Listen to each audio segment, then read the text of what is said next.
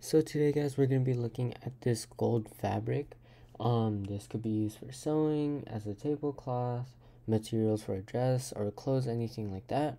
But we're going to be looking at the overall quality of the material.